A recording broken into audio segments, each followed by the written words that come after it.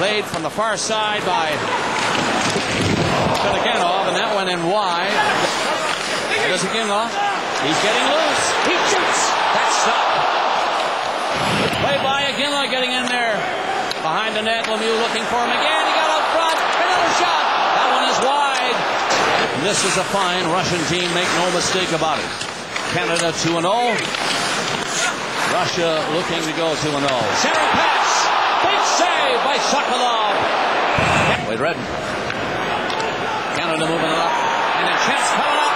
Oh, that low shot by Iginla. Boys having tough luck getting his first goal. And they won the championship, and in the playoffs, Sokolov had a 0.96 goals against average, and he gives you a little demonstration of his skill right there. However, missed it the first time.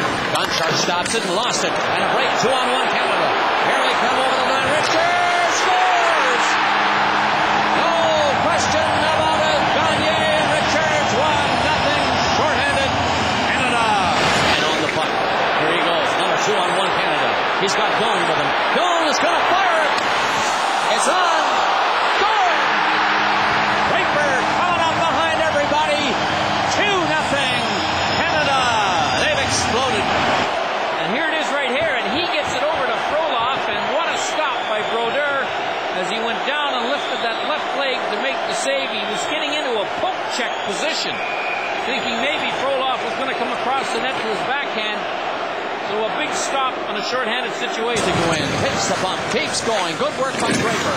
Lifted behind the net to Thornton. He's trying to come out again.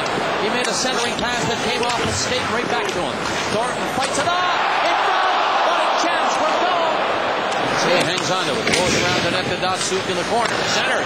Right in front. Down is Brodeur. And he guessed that time and he guessed right. A big move by Brodeur to keep it 2 0. Joe Sakic comes down.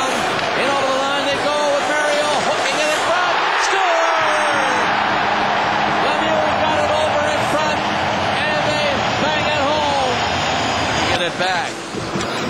No, he cannot. So his defense partner handles it well. Bouwmeester at the blue line, however. Gonchar again. The shot scores.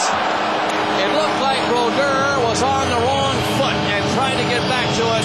And there's the first goal.